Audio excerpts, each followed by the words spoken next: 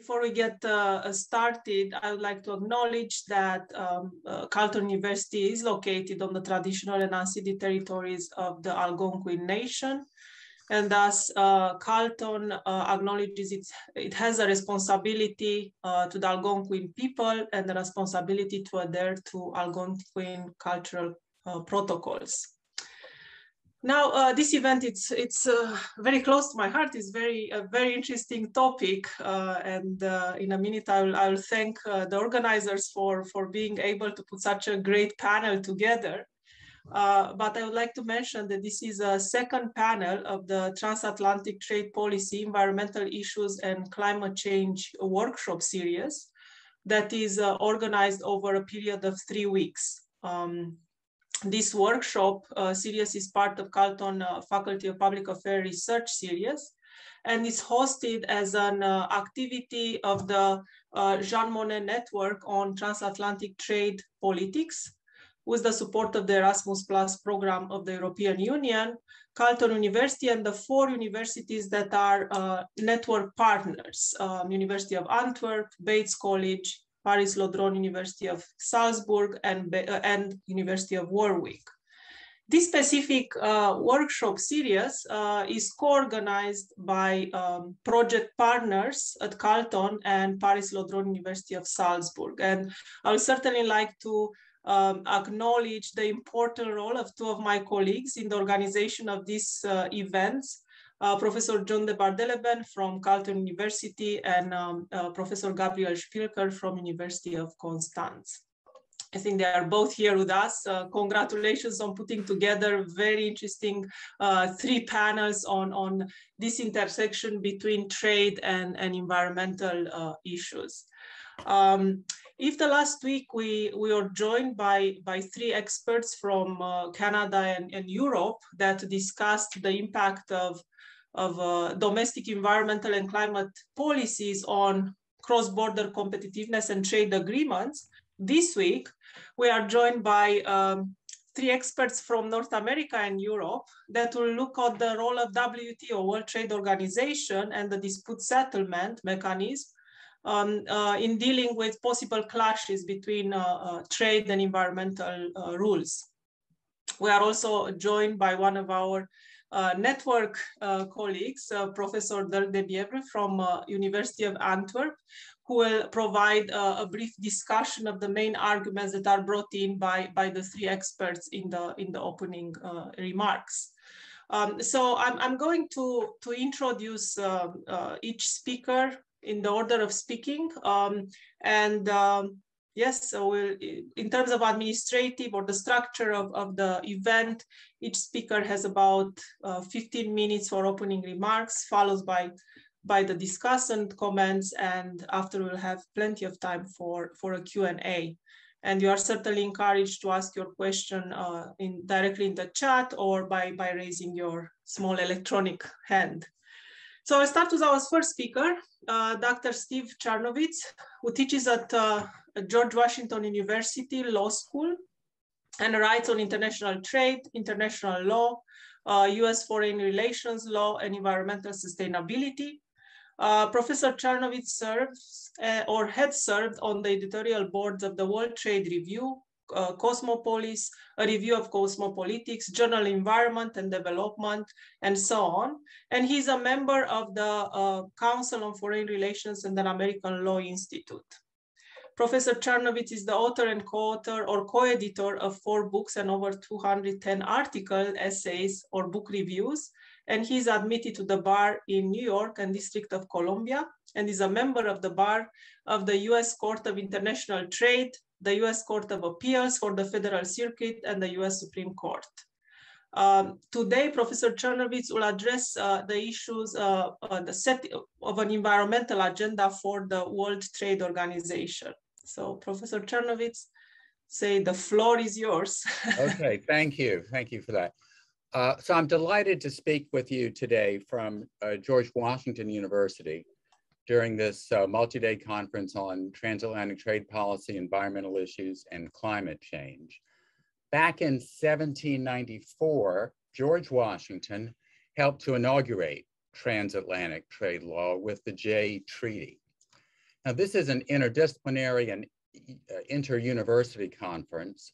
My scholarship is in legal science, and I want to present on the role of the World Trade Organization with special attention to environmental law and climate change. But before doing so, let me give a digital fist bump to my fellow panelists, Christian and Kyla, and to the discussant, Dirk, and the moderator, Crina. So the title of my presentation is The WTO as an Environmental Agency Revisited. And I will offer three main points.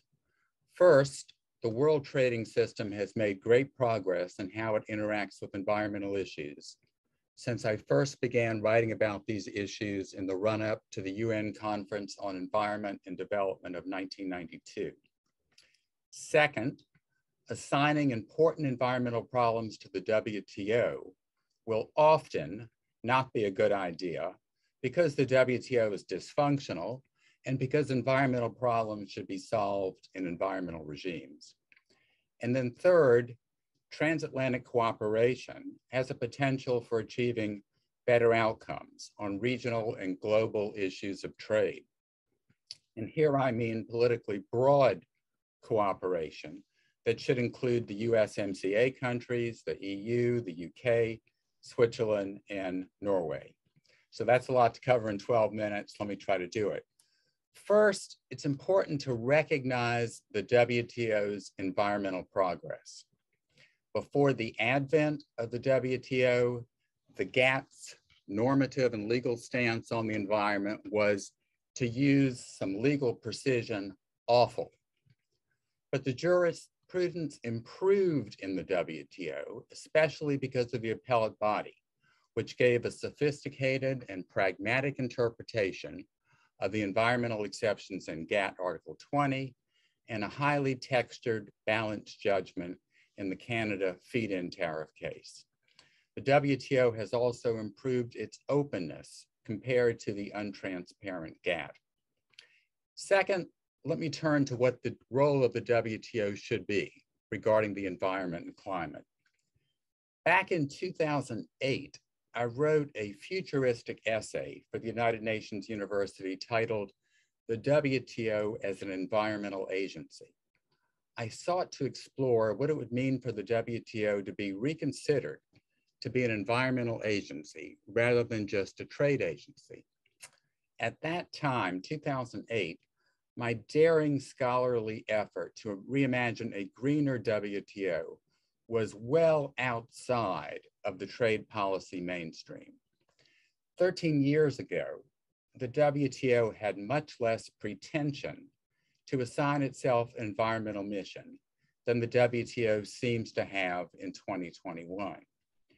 Today, the mainstream views around the WTO seem comfortable with the idea that the WTO should play an active role in promoting the reduction of greenhouse gas emissions.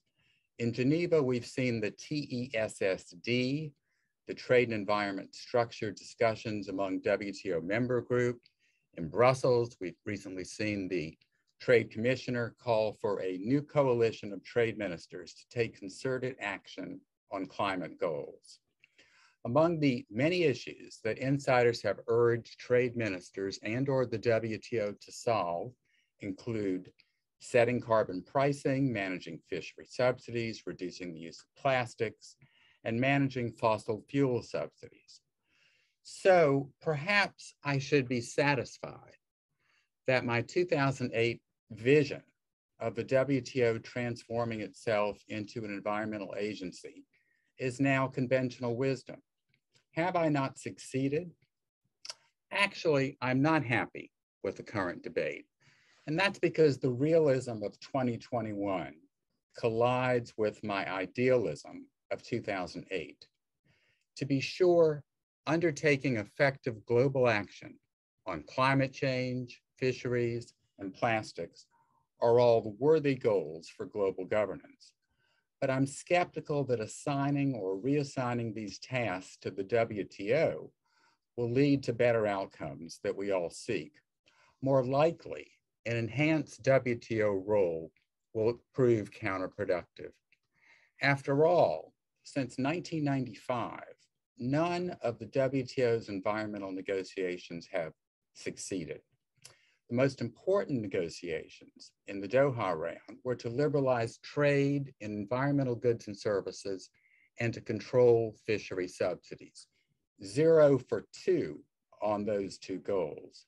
So today, based on the WTO's own track record of failure, the WTO should not be relied upon for success for success by environmentalists in a new broader mission. Equally important, by assigning environmental problems to the trade regime, one weakens the aspirations and integrity of the environmental regimes with the jurisprudence, with the jurisdictional competence and the technical expertise to broker solutions. As a place to locate negotiations, the WTO is also inferior to environmental regimes, such as the UNFCCC, because the WTO is less transparent and lacks byways for business and NGO participation that exist in the Climate Change Convention. Why not instead seek to address climate problems in the climate regime and address fishery problems in the fishery regimes and plastic problems in the, within the UN Environmental Program, UNEP? Don't encourage dis disintermediation by the WTO because that will just make things worse for the planet. For fisheries, the classic market failure of overfishing requires better transborder fisheries regulation. Oversubsidization is one small piece of the fisheries problem. The bigger problems exist in the many market and government failures that characterize national and international fisheries conservation. We need better regimes, including the UN FAO re regime on illegal, unreported, unregulated, that is IUU fishing. For climate, the Paris Agreement fails to address responsibility for the carbon footprint of imports and exports. That was a flaw in the Paris Agreement, but that normative flaw cannot be fixed by the WTO. It needs to be fixed in the Paris Agreement. Moreover, there is a vital independent reason against WTO mission creep. The inherent treaty-based mission of the WTO to liberalize trade and manage trade relations remains a job that only the WTO can do. Don't give the WTO an excuse to avoid its real job, which is so important for the world economy. Only the WTO can address the worsening of UPID. UPID are the trade practices of unilateralism, protectionism, isolationism, and discrimination. UIPD is what the WTO needs to focus on. Now for my third and last point. Transatlantic cooperation on both environmental and trade issues should be stepped up. Many problems of market failure or government failure are amenable to solutions adopted in transatlantic law and in existing or new transatlantic institutions. The transatlantic arena has successes in CTA, CETA, and in NAFTA USMCA, but the transatlantic region could be improved by absorbing the lessons from the Pacific in RCEP, RCEP, and CPTPP. There is also a possibility that transatlantic countries could form a new coalition for progress at the WTO to help the WTO achieve successful multilateral negotiations on trade and development at MC12. Speaking from Washington, DC, I wish I could predict that the United States is going to step up to be a leading negotiator in a coalition of transatlantic countries, a coalition of transatlantic countries and at the WTO. And perhaps a future will come when I will be able to honestly say that the US will be playing a constructive role. So thank you. Thank you so much. I think these were great uh, opening remarks and uh, open the stage for a for an important uh, debate.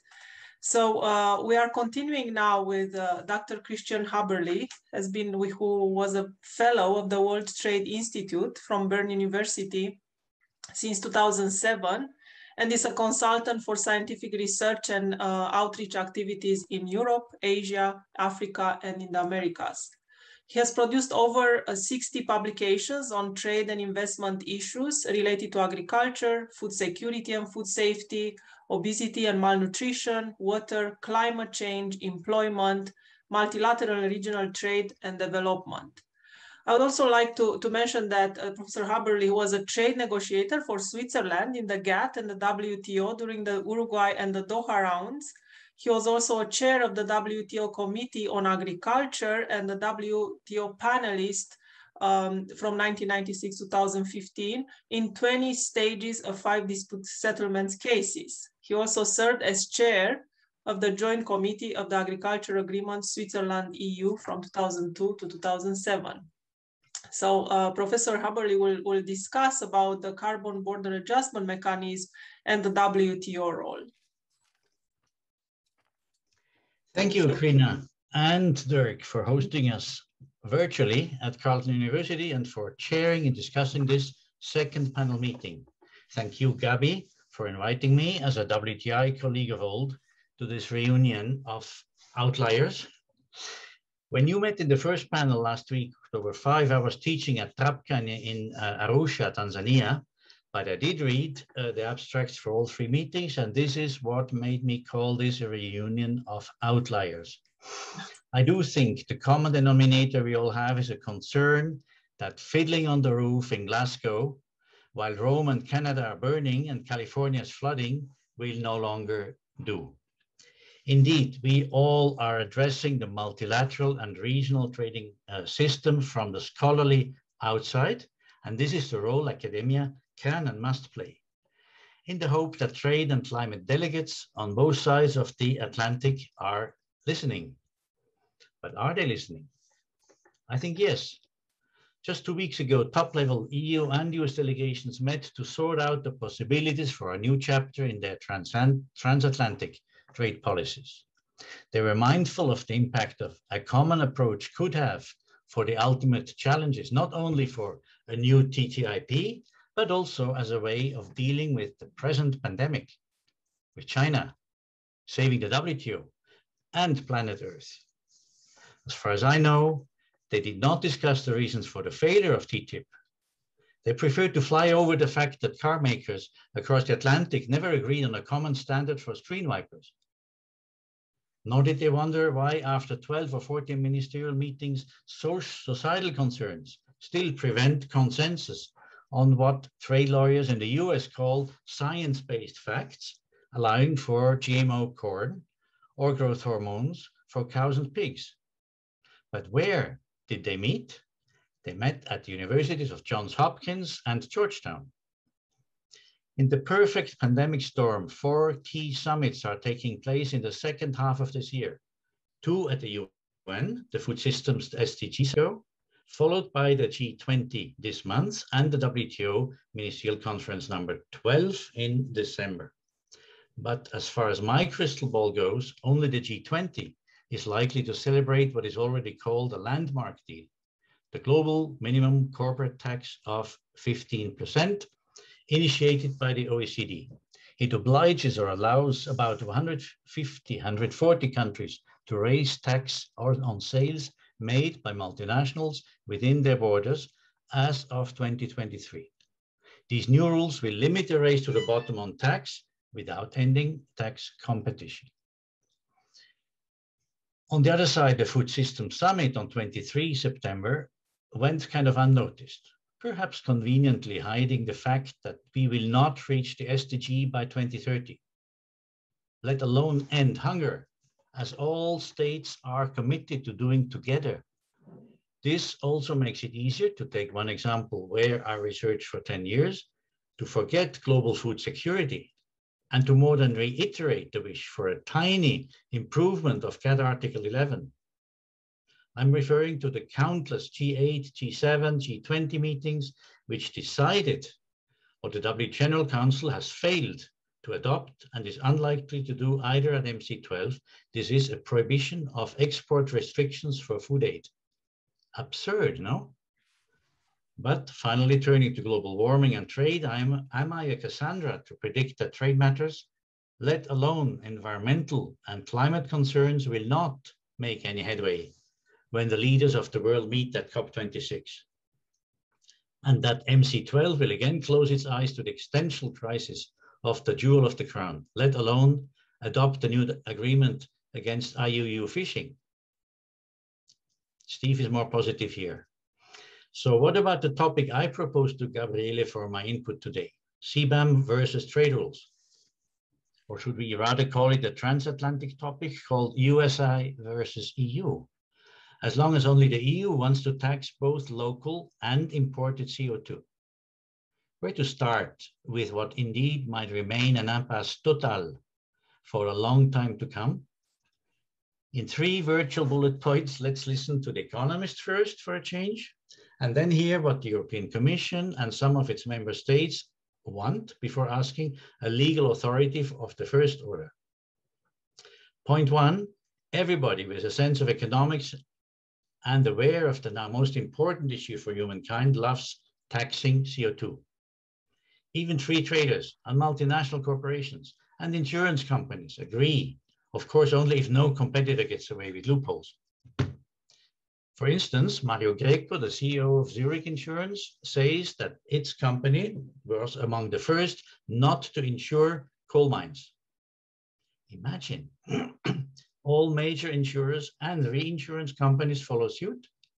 Nobody can produce coal without insurance or a very expensive state guarantee. Greco also says that producers of cement, aluminium, and chemicals should pay for their CO2 emissions the sooner the better, because such a tax would automatically accelerate the expensive greening of heavy industries. Point two, this leads me to the plans in the European Union and France to choose two extremes for taxing not only domestic CO2, but also the greenhouse gas content of imports.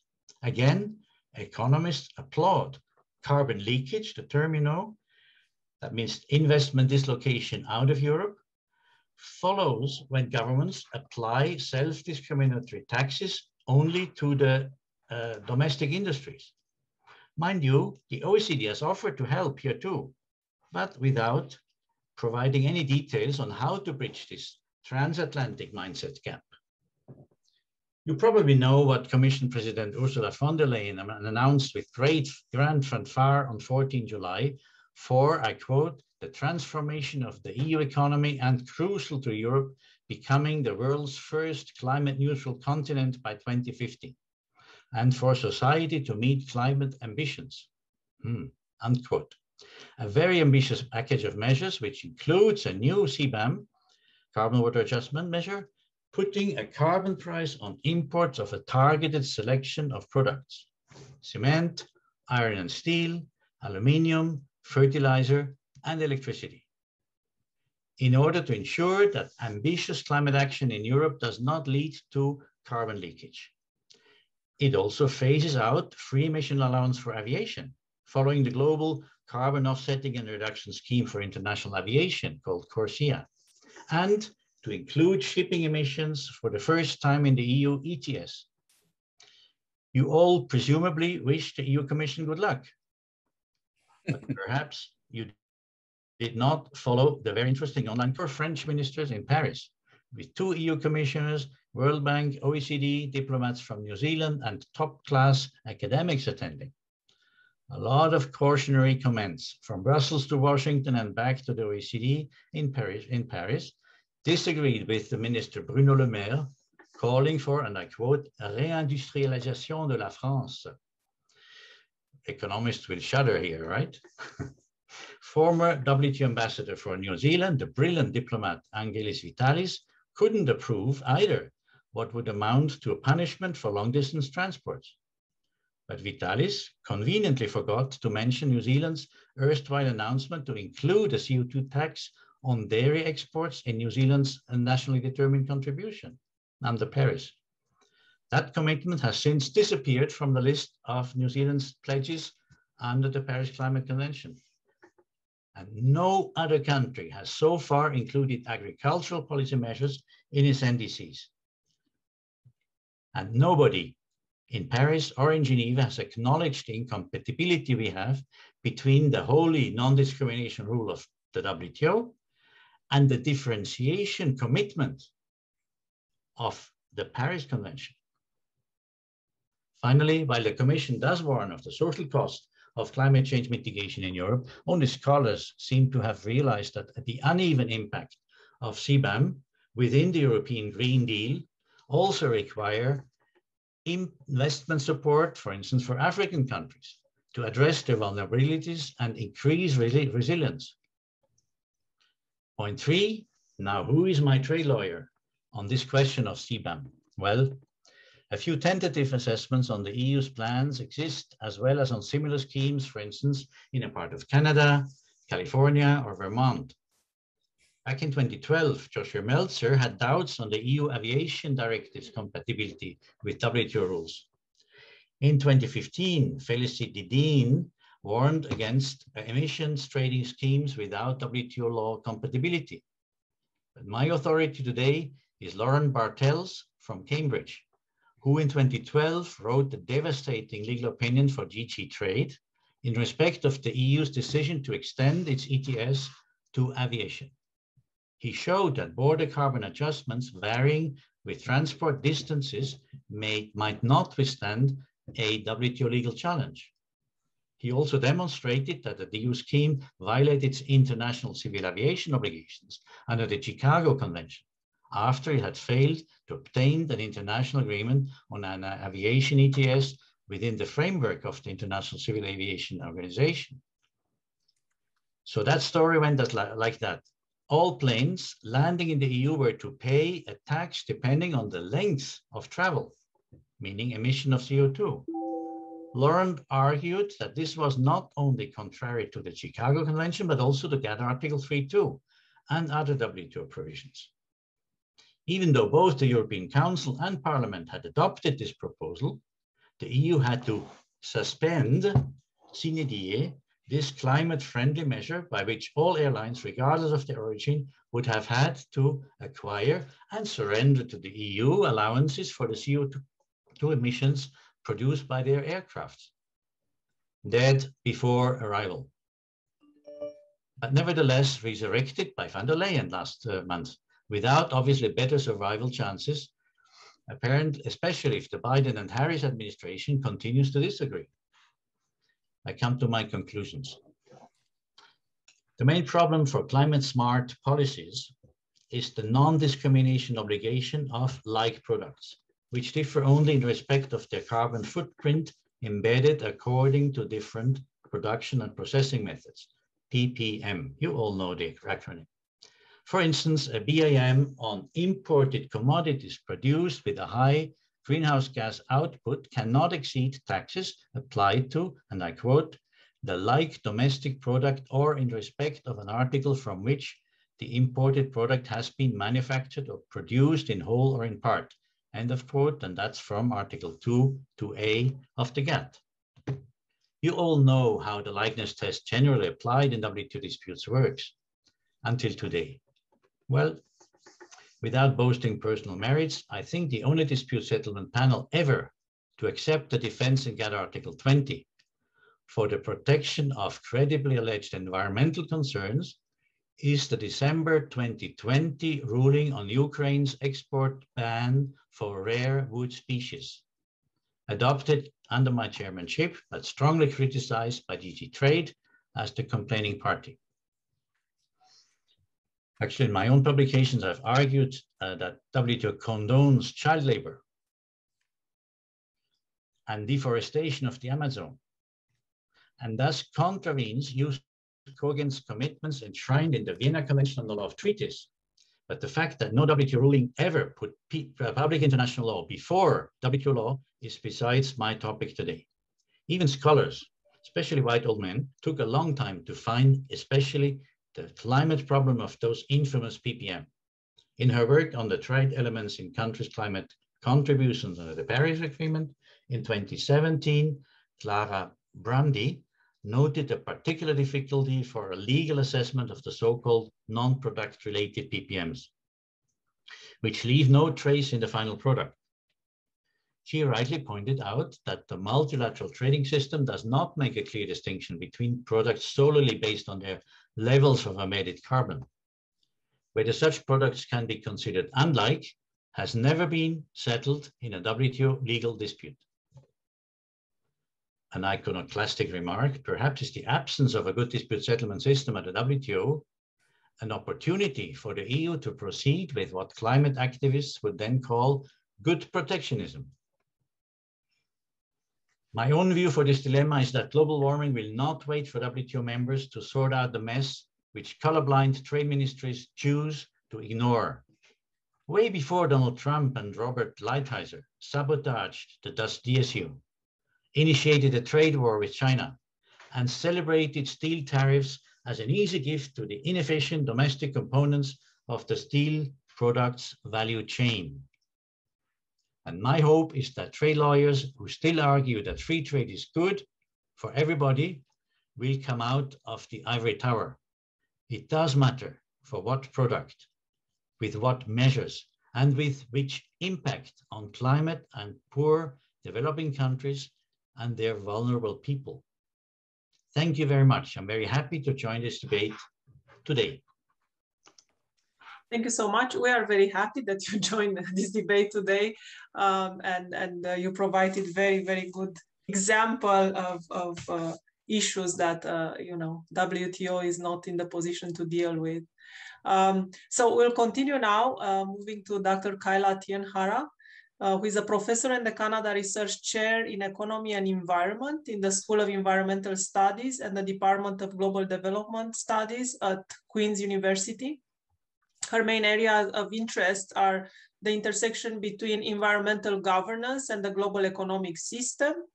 Uh, one of her um, recent work has examined investor-state disputes uh, concerning environmental regulations that are brought to international arbitration under bilateral and regional investment agreements.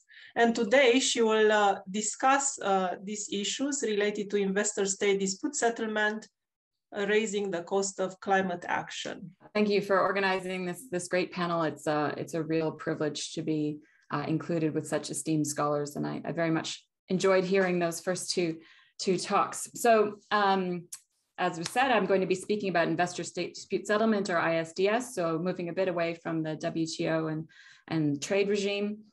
Uh, and how it may impact the energy transition and the cost of climate action. Although, of course, in the Q&A, we can also discuss how it it affects all other kinds of environmental issues as well. So I'm going to start with just a few basics about the implications of climate science for the fossil fuel sector, but I'm going to go through that pretty quickly because it's my assumption that probably I'm probably not going to say anything particularly new for this audience.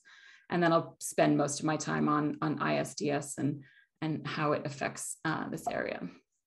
So my starting point uh, is that we need to keep a lot of known fossil fuel reserves in the ground. Uh, because the carbon in those reserves, if burned, would blow our carbon budget and push us well above two or even three degrees of warming.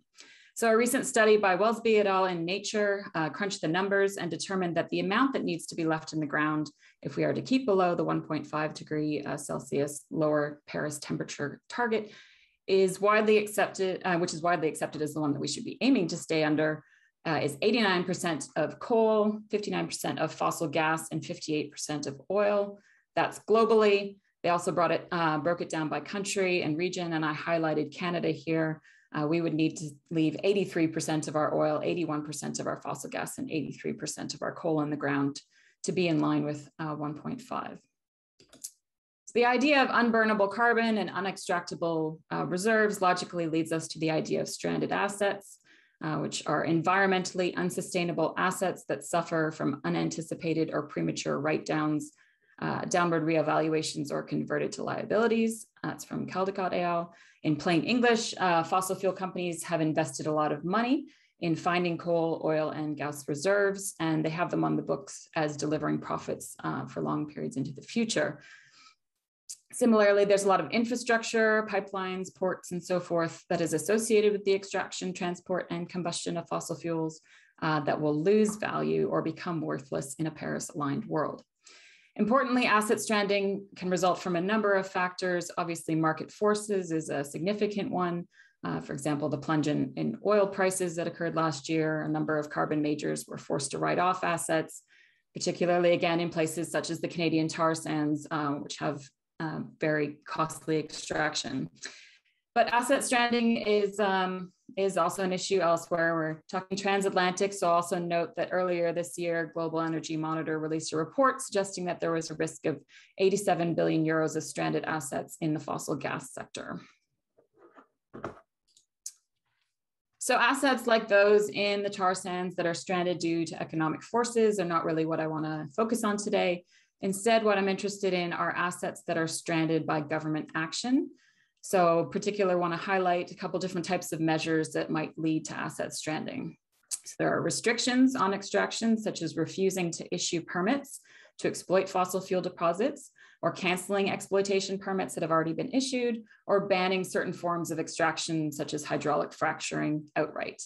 There are also phase outs or bans on the combustion of fossil fuels, such as the phase out of coal power, uh, the reduction or elimination of fossil fuel subsidies, something that countries keep promising but are failing on, and then also limits on the development of infrastructure such as pipelines and ports.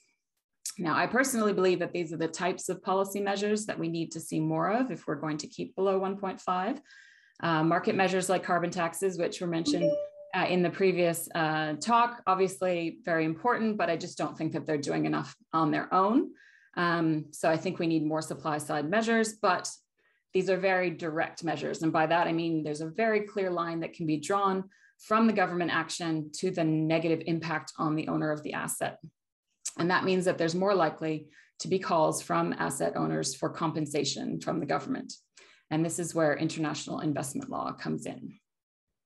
So there are over 2,600 uh, international investment treaties worldwide. Most of these are bilateral investment treaties, but there are also plurilateral trade agreements that have an investment chapter. Uh, the most famous being the, the now ended North American Free Trade, Free Trade Agreement or NAFTA. Uh, that's been replaced by the USMCA, which doesn't have a standard investment chapter, which we'll get back to later. There's also the aforementioned Trans-Pacific Partnership or TPP, uh, which may be expanded if, if China is permitted to join. And then in the transatlantic um, area, we have the Canada-Europe deal known as CETA. Also importantly, there is uh, a treaty that wasn't very well known uh, up until very recently called the Energy Charter Treaty or ECT, which covers most of Europe, but also Japan and a few other countries. And it's notable for uh, being almost ex being exclusively focused on the energy sector. And it also may be the first large investment treaty to be canceled over climate concerns. Uh, and I can talk more about that in the Q&A if anyone is interested. So basically all of these treaties um, protect foreign investments uh, and investors from things like direct and indirect expropriation. They require that states provide so-called fair and equitable treatment, uh, most favored nation treatment and national treatment. Um, but importantly, the, the language on these standards is quite vague and open to interpretation. One of the biggest problems has been the requirement for fair and equitable treatment, which has been interpreted, interpreted by some as meaning that states are essentially required to provide stability from investors and to insulate them from changes in policy. But I think the easiest way to understand how this system works is to look at some examples. Uh, so first up is Westmoreland Coal versus Canada. So a number of years ago, uh, under an NDP government of Rachel Notley, the province of Alberta committed to phasing out coal power uh, by 2030. And because Alberta doesn't really have the infrastructure to export coal, the climate plan also resulted in a de facto phase out of local uh, thermal coal mining. To ensure support for this plan, uh, major utility companies in the province were provided with transition payments to help uh, facilitate the switch to gas and to renewable energy. Uh, the US company Westmoreland did not receive a government handout because it's a coal mining company. Uh, it's not uh, an energy provider, this is where the issue of uh, like, like circumstances comes up in investment, which is sort of similar to what the previous speaker was talking in terms of like products. So that's, uh, that's an issue that's being played out in this case. basically Westmoreland thinks it's discriminatory that it didn't uh, get, a, get a payment and it's seeking compensation of US 470 million.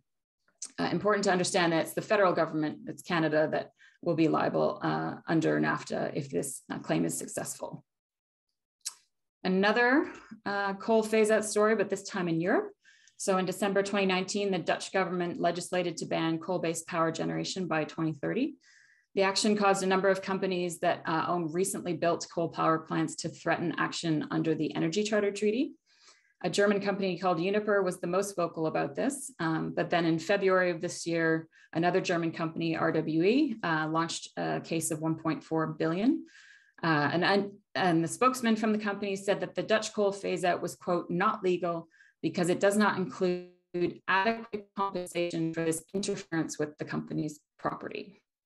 That comment about adequate compensation is something that I want you to keep in back of your mind. Who do you think should determine what level of compensation, if any, companies like RWE deserve, given that they have made their investments in full awareness that they contribute to climate change and that the world has to move rapidly away from fossil fuels if we are to avoid catastrophic levels of warming. In April, Uniper also launched another case. Those are both ongoing. Final example for today is the cancellation of the Keystone XL pipeline. This was a project to bring tar sands petroleum from Alberta through parts of the US. Uh, it was extremely controversial. It was first canceled by President Obama, and that sparked a NAFTA dispute and a claim for 15 billion in compensation. Then President Trump came along and reversed the decision, and the company moved forward with its plans again. And then in a development that surprised no one except the Premier of Alberta, uh, Biden canceled it again. So TC Energy, the Canadian company behind the project, has launched a, a NAFTA dispute again for 15 billion. And interestingly, the government of Alberta, which invested quite a bit of public money in the project, uh, seems to be actively involved in that case. Now you may ask yourself, uh, I thought you said NAFTA was over. How can you still launch a, launch a NAFTA case? Uh, and the USMCA doesn't have uh, ISDS in it, uh, at least not between Canadian investors and the US and vice versa. But basically, there's an allowance under NAFTA for cases to continue for three years after the official end of the agreement. And these are called legacy disputes.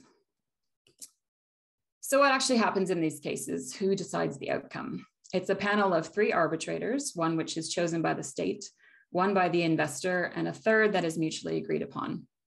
Now, there are serious conflicts of interest that can arise because the indiv individuals that act as arbitrators in one case can act as lawyers for investors in another case.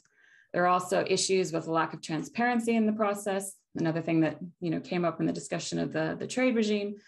It's even worse in the investment regime. Proceedings in most cases are not open to the public and documents are not always published. And there are very limited opportunities for third parties, such as environmental organizations, to intervene in or participate in proceedings in any way. The cost of the proceedings, which can drag on for many years, are also pretty astounding. 5 million US is the average cost for states, but there are many cases where governments have spent more in the range of 20 to 40 million. And then if an award is made against the state, there are limited options to challenge it. So no appellate process as there is or was in the WTO. Um, so no possibility for that kind of evolution that we, we heard about earlier about how the WTO has improved. That's not really uh, possible. And there's a lot of inconsistency in how tribunals interpret the treaties which makes it really difficult for states to predict whether they will be successful in their, in their defense. So fossil fuel companies are frequent users of investor state dispute settlement. Um, I have found 173 cases, but I've recently peer reviewed a more recent report that will come out soon uh, where the author has found quite a few more than that. And you can see on this slide that there are some examples of carbon majors that have been awarded in the range of hundreds of millions or billions of dollars in compensation. Um, to be clear, these aren't cases that are challenging climate policies per se, although there are often environmental issues at stake. Uh, for example, Chevron has used arbitration to get out of having to compensate local communities in Ecuador for the impacts of oil pollution. But the point I'm trying to make here is that fossil fuel, fuel companies know how to use this system to their advantage, and I see no reason why they wouldn't use it to resist climate policies. And the other point that I want to make is that these awards in these cases are insanely high because the system, uh, in this system, investors can claim so-called lost future profits. So if a country, for example, decides to ban offshore oil or gas fracking, then companies with planned projects can argue that they should be compensated not just for the money that they had spent developing the project up to that point, their so-called sunk costs, but also for the money that they would have made if the project had proceeded. There are many problems with this approach, uh, one of them being that arbitrators don't have a crystal ball. And we think of things like fossil fuels, who is actually able to predict uh, what the value of a reserve is going to be next year, let alone 20 or 30 years in the future. And are investment arbitrators uh, going to factor in how government action to combat climate change will impact the price of oil or other fossil fuels? Or are they going to continue, as they have done so far, and assume that prices and profits will continue to rise indefinitely?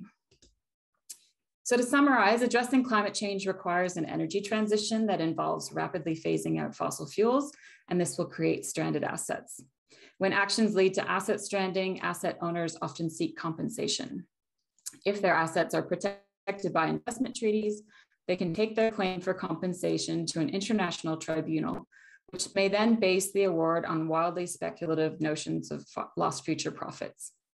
So how will this in turn impact the energy transition? There are two major concerns that I have based on my research. The first is what is known as regulatory chill. This is the idea that governments, when they are threatened by uh, with an IS, ISDS case, will reverse course or at least delay action because they're concerned about the cost of defending their policy in arbitration and the possibility of having to pay an investor a large award. Importantly, due to the nature of climate change as a global issue, regulatory chill can also occur across borders. So for example, a government can look at what's happening in the Netherlands and decide that a rapid phase out of coal could result in them facing a similar ISDS case. The government may then decide to wait and see what the outcome of those cases is before developing legislation. This is exactly what happened uh, in the area of tobacco labeling. In New Zealand, the government saw that Philip Morris had brought a very large claim against Australia for mandating the plain packaging of cigarettes. Even though Australia eventually won that case, it took many years. And basically the argument here is that delay of an effective health policy in New Zealand means more lives lost to lung cancer. And we are all very well aware how little time we have to address climate change. So any cause for delay is a real problem. Second concern I have is that when governments do follow through with fossil fuel phase out policies, they will end up compensating investors more than they otherwise would have, either because they are forced to do so by an arbitral tribunal or because they're negotiating with investors under the shadow of ISDS. So there has been some speculation that the this shadow of investment arbitration influenced the very generous compensation package that Germany provided coal investors for its phase out plan. When compensation is higher, we have a diversion of public money to fossil fuel investors that should have been in, spent on ensuring a clean and just energy transition for everyone. So with that, I think I'm out of time. Many thanks uh, to everyone for listening. And if you are interested in more detail about compensation and ISDS, uh, please do check out the report that I've co-authored with Lorenzo Cotula at the International Institute for Environment and Development, or IIED. I'm currently working with colleagues at the Global Development Policy Center at Boston University to expand that we did in that report on investment treaty coverage um, of fossil fuel assets. We're going to expand it to the upstream and oil and gas sector, and that research will hopefully be out in the new year. Thanks very much. Thank you so much, and uh, thank you to all the panelists for, for very good comments uh, on, on both WTO and, and the uh, investment state dispute settlement uh, Dirk, I think you have a, a, tough job now to, to bring together all this and to, to provide your uh, thoughts on, on the arguments made. So I'd like to introduce Professor Dirk De Bièvre, who is a, a, professor of international politics and chairs of the chair of the Department of Political Science at the University of Antwerp. As I mentioned, University of Antwerp is one of the partner universities in the Jean Monnet uh, network that is organizing this event. Uh, some of the current research projects uh, that Professor De Bièvre is focusing on are related to politicization, politicization of the EU trade agreement negotiations and politics of um, dispute initiation of the WTO. So um, he will provide a brief uh, uh, discussion of the arguments made by uh, our panelists. So Thank you very much, uh, Crina, and thank you very much, of course, to, to these fantastic uh, uh, three presentations that gave, gave a lot of um, food for thought um, and, and were of course of a legal sophistication that is uh, hard to, to emulate. Um, I would like to, to very briefly draw out the main lines out of the, the three presentations and then provide, uh, try to provide a comment that, that bridges them all. So the first uh, contribution by Steve Charnovitz, I think, is, is important because it highlights uh, an, an, issue that, that many of us have not seen coming yet, I think, which is uh, we are, we are comfortable or we, are, we know uh, from um, the, the, state of the literature that coming to environmental commitments is already very demanding, whether in the WTO or whether in regimes. Second, we know that they are relatively difficult to enforce. That's, and the, the, the, reason why we have seen this move um, from, ah, let's enforce uh, environmental commitments through the WTO because they have a very nice enforcement system. No, they have the WTO dispute settlement system. Never mind that it is now a little less performant because the appellate body has been completely uh, uh, killed, at least for the moment and for, for a couple of years to come, surely. So let's use the WTO or abuse the WTO dispute settlement system to make environmental commitments more enforceable, right?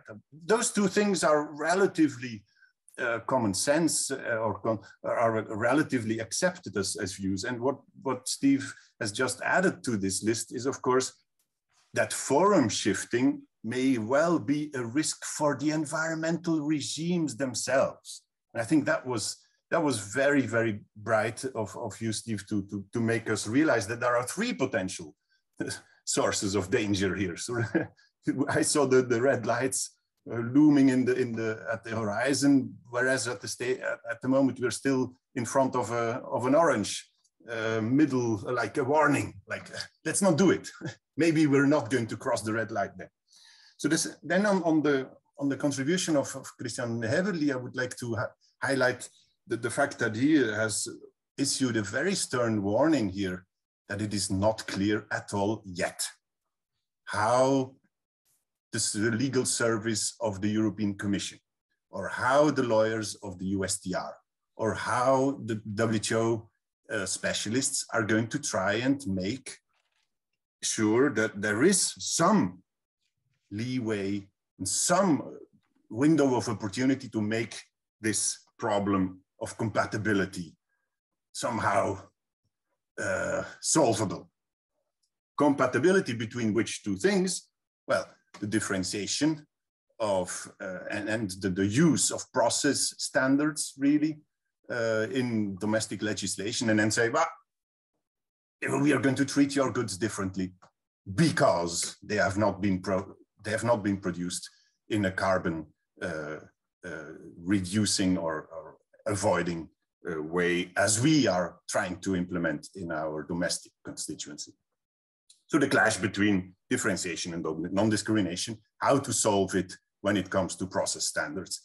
Apparently, especially I'm going to reread, and I think we, we all got that from uh, Christian Häberli's uh, presentation, we need to reread the Lorand Bartels 2012 source here and to, to, to start thinking about, is this now really a stern uh, uh warning about policy feasibility? Or is it just a legal issue that can be solved by, by having some deal, right? Those are two, two very different things. And I'll come back to whether this is politically feasible or not in my general comment.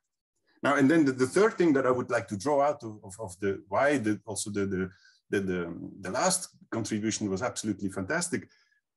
I mean, the, the, the regulatory chill argument about investment uh, um, arbitration is, of course, also something that we have seen from, from the literature uh, so far. Um, but the distinction that you made about not just sunk costs, but also lost future profits, this is quite substantial. And I'm, I'm, going to be perfectly honest with you, I, this was new to me. I was like, well, probably they can they can fudge that and, avoid that, and states can say, oh, you have you have no clue about the future, so we're not going to rely on on, on totally counterfactual constructions of the future. Let's not uh, talk about predictions because they are very difficult, especially about the future, as Churchill used to say, right? But you highlighted that they can even bring that in. Wow. Okay, that's regulatory chill about the future then. So that is a very important observation you made there. Um, and of course, and then we're going to get this delay, slowing down of the policy process. Let's wait and see in a strategic interaction game of, of, of states waiting for each other and saying, oh, it's not my fault. It's, it's because the other is still not clear, right? That's a classical prisoner's dilemma type of catch 22 or whichever metaphor you want to use for that type of uh, international cooperation blockage. So and then the, the last, uh, I, I, liked the, the, the, little detail about the overpay of compensation that Germany might have been actually doing. I was always thinking like, wow, this is great. No, they, they, they kind of buy out the, the veto players, but you highlight, you put this on its head and you say, no, perhaps other governments are going to find it very difficult to mobilize such huge resources. That's kind of obvious. But you even say well, it's actually going to be perhaps counterproductive in the interaction game between different states. So great uh, contributions by all three um, people here on this panel, and, and, as they have said themselves, I mean, this was this is a top uh, uh, a top uh, cast of three three top uh, specialists on each topic. Now, what to do? Uh, maybe, maybe, maybe there is some critique in, in place that, that, might that might give us some some optimism about this. Now, the, the way that uh, Steve presented this is that is to say, ah, if um, if there is age, if there had been agency at the WTO, uh, then we might have been in a better place. Yet there is realism that tells us that this is not going to happen anyway. Now, what is agency here? What is the WTO? It's a very basic question, but it's a fundamental question that, that helps us to, to, to make causal inferences about the future and, and try to get explanations about what is happening at the moment, which is, of course, we know that the WTO as a bureaucracy is not an agency. It's only the negotiations that between countries that produce particular rules and those then have some effects, right? So it's not an agency in any meaningful sense of the, of the word, word, nor is it bound to become one. Uh, it's totally unrealistic. So it's different from other international organizations. Anyway, that's Lamy always used to say, ah, it's, a, it's, a, it's just uh, the member states, right? Yeah, the phrase for that. Uh, doesn't occur to me at the moment. Doesn't matter. Um, yet, this opens up a possibility to think about WTO negotiations as concentric circles. And I think that gets has gotten lost in the last 15 years when people talk about the WTO. They do as if this is a multilateral organization that can be easily blocked by one veto player. That is not the history of the GATT, nor is it the history of the WTO agreements in the Marrakesh package. This came about in club good logic. Think of Ostrom. I mean, coalitions of the willing, people pushing for a particular new type of regulation were started in very restricted groups and then said, well, if you want to join, you can.